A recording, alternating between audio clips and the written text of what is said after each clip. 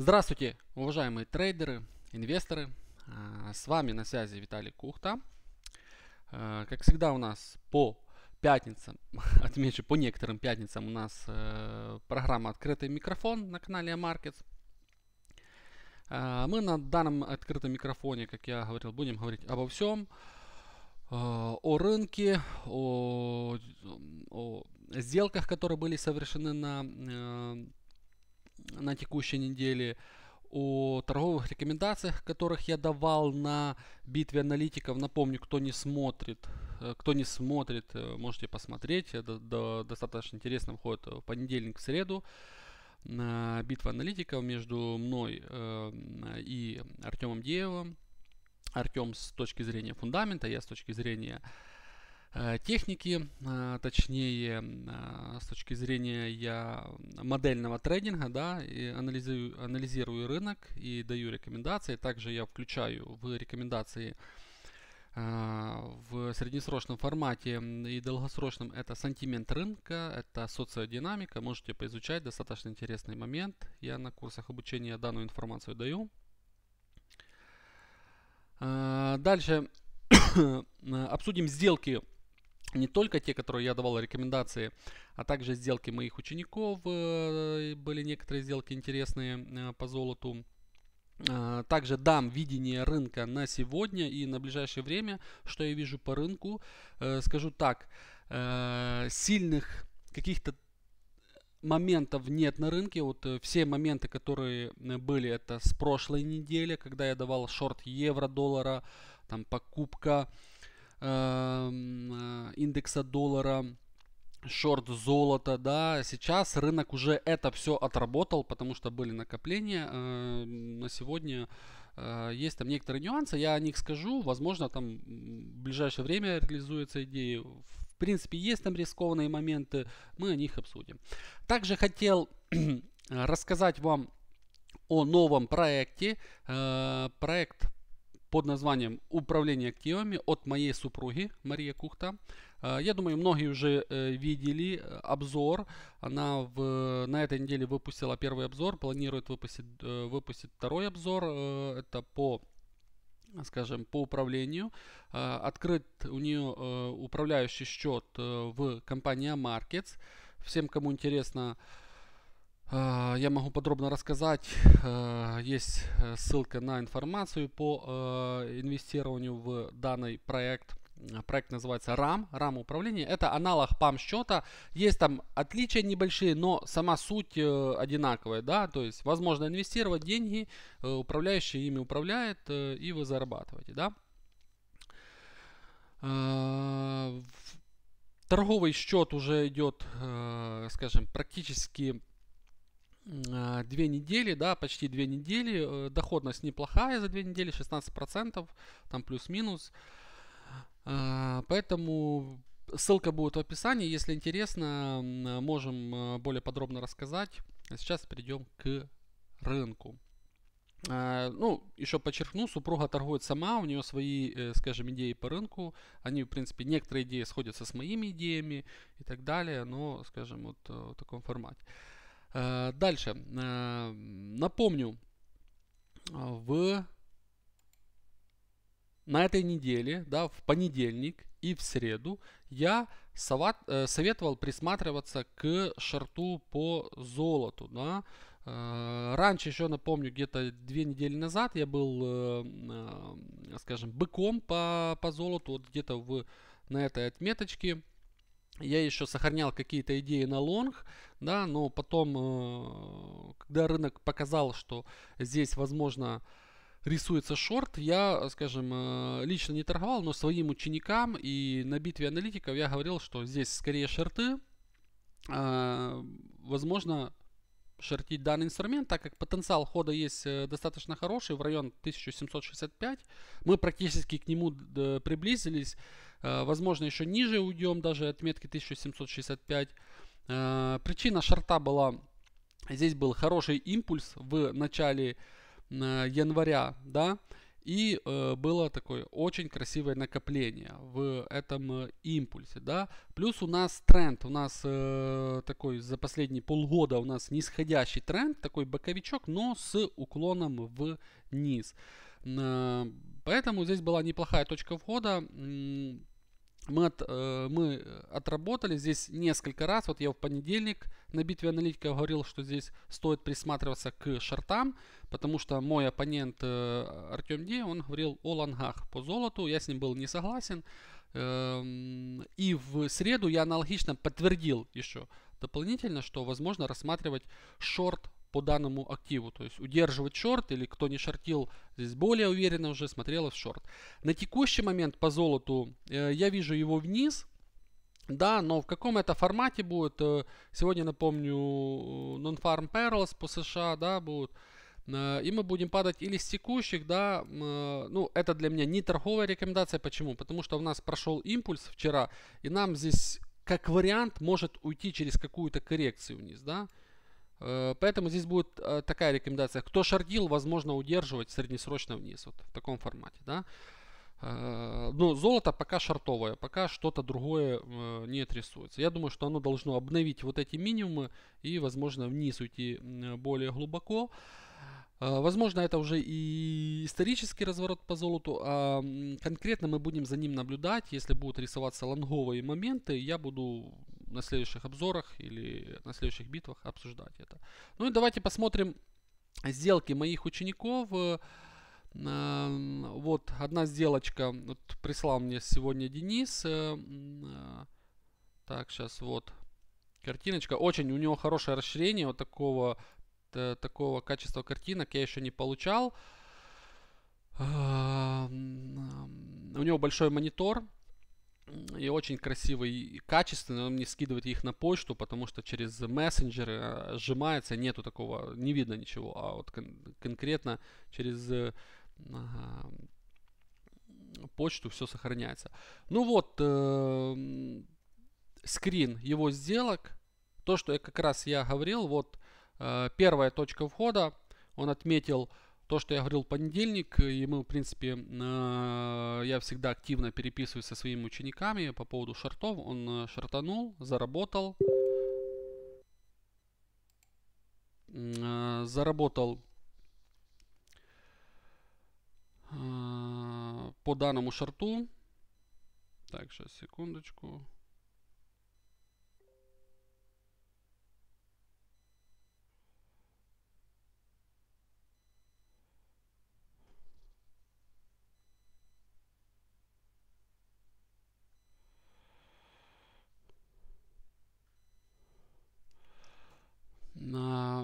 Итак, э, дальше. Это первый шорт э, у него. И второй шорт, вот я когда в среду аналогично говорил, что здесь, скорее всего, будут продавливать вниз. И он, в принципе, согласился со мной. Э, то есть было снижение, поджимали к уровню и, и дальше пробили вниз. Практически он взял вот эти два движения по данному инструменту. А, плюс это есть еще сделка другого ученика. Вот, я ее уже э, еще вчера публиковал в телеграм-канале, в фейсбуке. Он удерживает среднесрочно э, инструмент, находится без убытки, уже там часть закрыта, если не ошибаюсь. Э, он мне писал аналогичный пример, то есть вот в таком формате. То есть что это касается, что касается золота. Э, дальше. А, перейдем к э, другим идеям по рынку. Евро-доллар. Да? А, еврик. По евро-доллару. Напомню еще, с прошлой недели я говорил вот здесь, да, шарты по данному активу. На текущей неделе, в понедельник и среда я говорил о, только о шартах по данному инструменту. Да? Шарты все э, прекрасно отработались. Э, мои подписчики удерживают еще часть э, шарта по евро-доллару. Мы уже там э, половину зафиксировали, стопы снизили. Да? И что мы видим на текущий момент? Пока э, ситуация шартовая, да, то есть евро-доллар смотрится вниз, он будет падать или с текущих дальше, или, как вариант, через коррекцию. Сейчас я торговых рекомендаций не даю, потому что у нас нету накопления, да, то есть а у нас, чтобы торговать, вот смотрите, вот просто пример, вот когда у нас прошел в начале января импульс, у нас было накопление коррекции, да, потом снова импульс, накопление, да, и мы после каждого накопления я давал какие-то рекомендации. Сейчас у нас есть импульс, и у нас э, нету ничего, да, мы или будем э, падать, или пойдем на коррекцию. Альтернатива по евро-доллару это будет э, вот такой момент. Э, если мы перекроем вот вчерашний медвежий бар, то есть сегодня там на нонфармах или уже на следующей неделе, так как-то рынок уйдет вот сюда, а, мы сломаем вот этот нисходящий локальный тренд, то в таком случае можно будет говорить о покупках евро-доллара среднесрочных с возможным перехаем, да, или там уже будем по факту смотреть, я не буду загадывать там наперед, э, конкретно уже будем смотреть, да.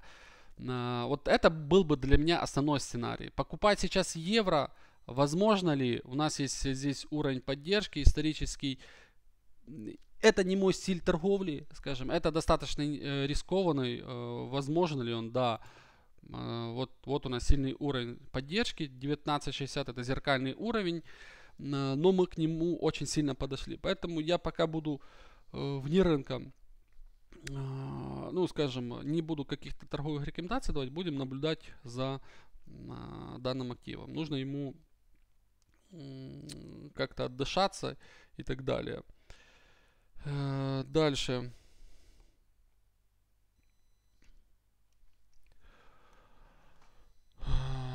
Что касается других инструментов. А, доллар иена, да.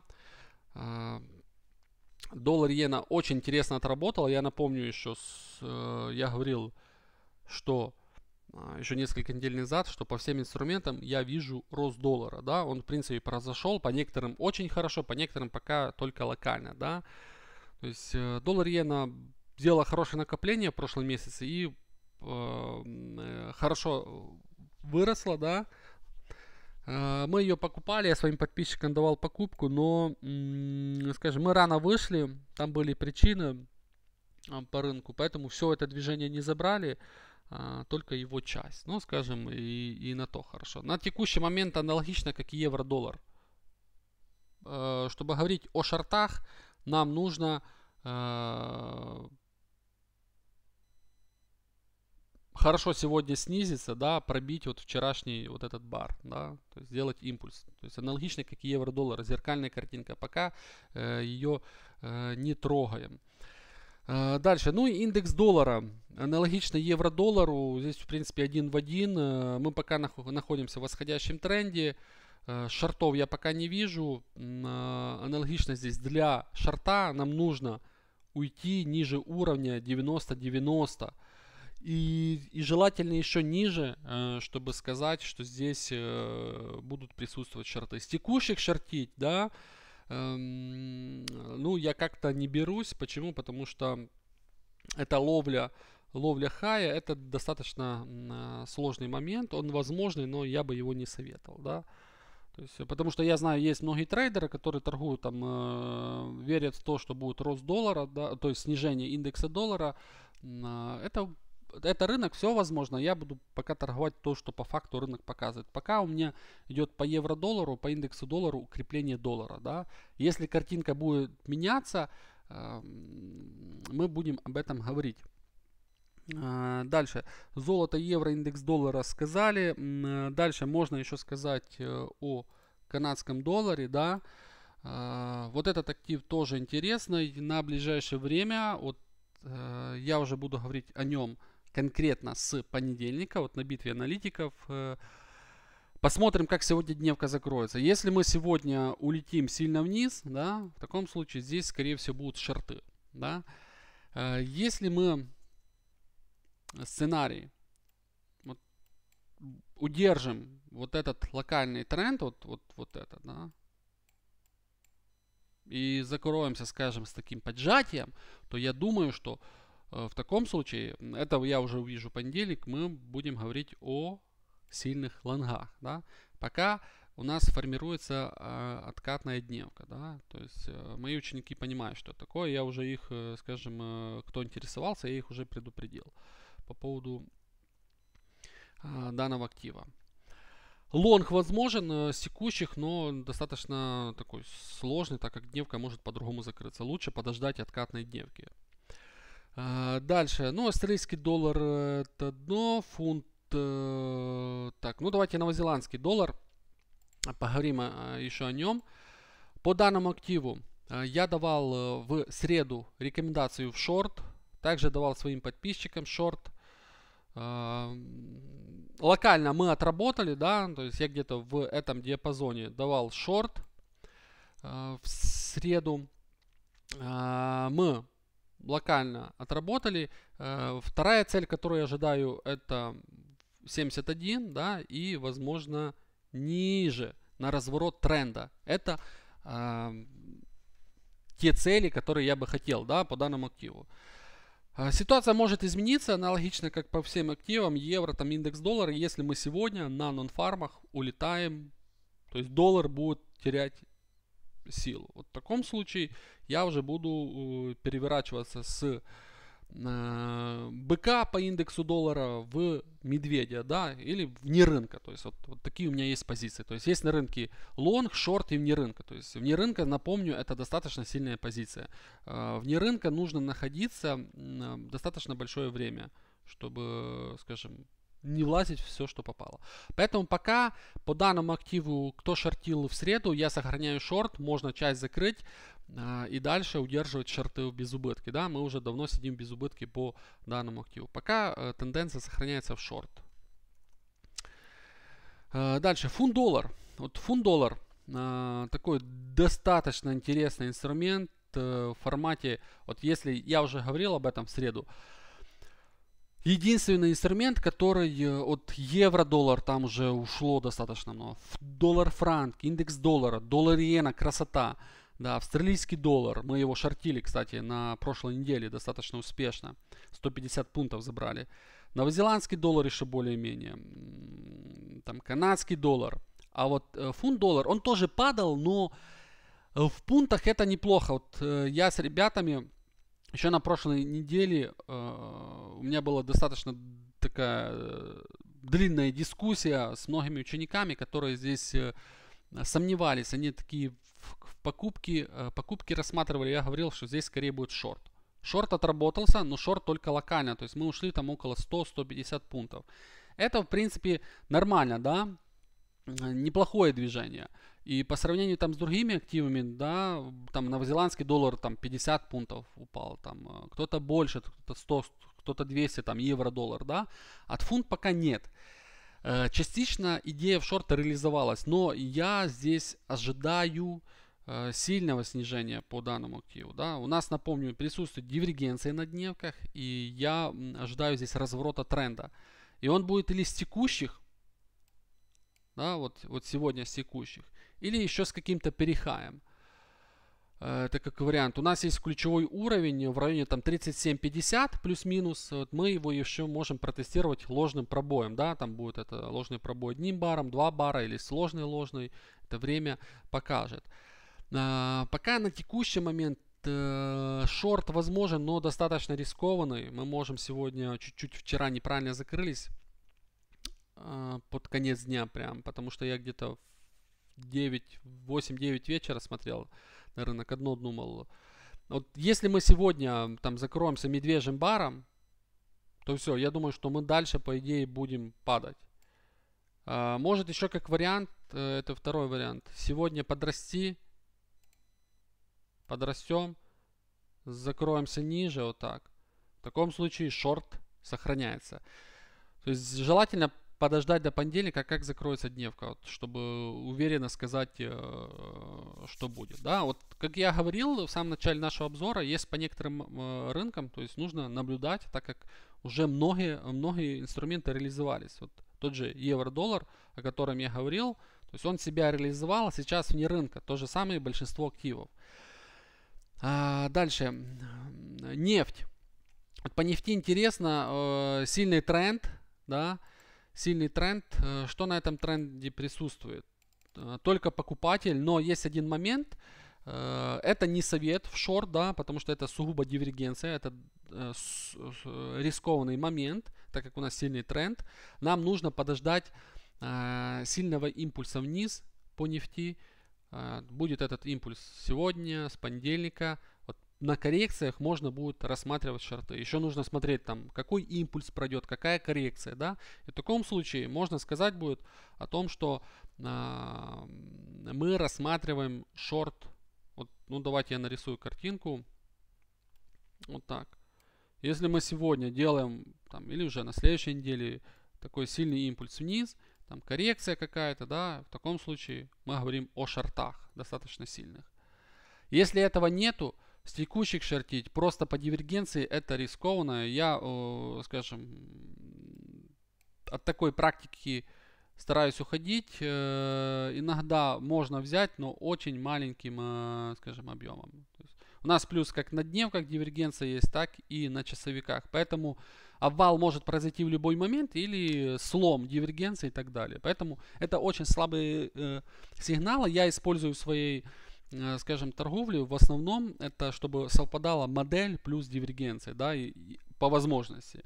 Просто дивергенцию торговать возможно, но это очень-очень рискованно. Особенно э, рискованно, когда ты торгуешь контртренд. Возможно торговать коррекционный тренд, допустим, э, он, допустим, в таком формате. Давайте я нарисую, чтобы было понятно. Вот если у нас идет тренд, да, и пошла коррекция – если на этой коррекции вот нарисовалась дивергенция, да, то ее можно купить, потому что мы торгуем в сторону глобального тренда, да, или там, ну, не глобального, среднесрочного и так далее. То такую дивергенцию даже можно без подтверждения торговать, там без импульса можно рисковать. А вот когда ты торгуешь, вот у нас идет вот такой сильный тренд и просто дивергенцию, то это очень-очень э, рискованно, потому что эта дивергенция может затянуться еще выше на 100, 200, 300 пунктов, а может ее в конечном итоге и сломать, да.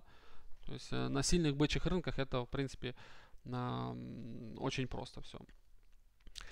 Поэтому к нефти присматриваться она достаточно, возможно, э, будет интересная в ближайшее время.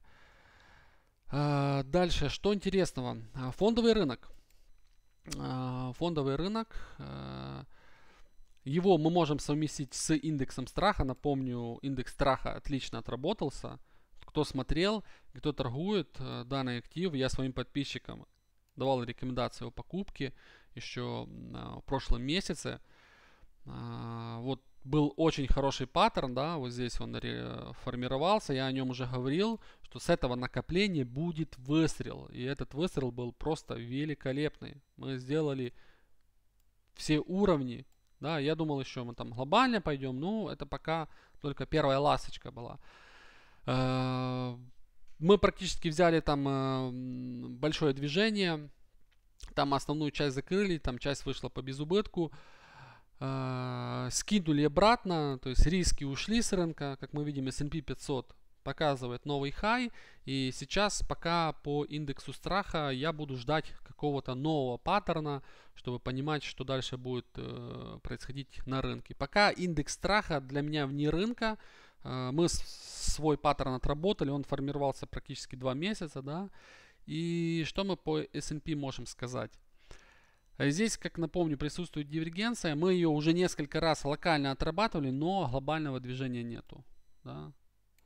То есть, вот напомню еще, с декабря назывался ключевой уровень, ну, на тот момент, который был, ложный пробой. Мы его отрабатывали. Вот, здесь локально отпадали, откупили, да. То есть локально можно было заработать, глобально по безубытку. Прошлый месяц получается, январь, да, тоже был ключевой уровень. Вот здесь я советовал э, э, своим ученикам шортить э, данный инструмент. Он ушел, локально ушел, дальше снова по безубытку, да, то есть не идет. Сейчас у нас новый ключевой уровень, это хай января, то есть вот этот уровень. За ним нужно будет наблюдать, если здесь будет рисоваться. Мы пока вчера закрылись выше, смотрится все в лонг по данному активу. Вот если будет рисоваться ложный пробой, то есть будем заходить под уровень, в таком случае можно будет говорить о шортах. Пока этих моментов нету, я за данным активом наблюдаю, скажем, от почему я использую часто VIX в торговле. S&P, в принципе, мне за последние там э, несколько месяцев он не приносил там какую-то краткосрочную прибыль. Все основное по безубытку или по, стоп, по стопам, да, пока нету этого движения вниз. А вот VIX, индекс страха, э, там были модели хорошие, они отрабатывались. По индексу S&P пока их нету. Итак, в принципе, по всем активам а, я прошелся таким основным. Поэтому на этом будем заканчивать. Если у кого-то будут какие-то вопросы, пишите в комментариях. С понедельника, среды, если будут более интересные моменты на рынке, мы их рассмотрим. А, также напомню, что вы можете на сайте Кухта Capital, ссылка будет в описании. Также комментарии скину. Информация а, по обучению, а, по инвестированию. Да, вы можете ознакомиться по торговым сигналам. А, мы их можем а, обсудить. И вы можете подписаться или записаться на обучение. Да. Поэтому до следующей недели. А, всем позитивной пятницы, хороших выходных и встретимся в понедельник. Пока.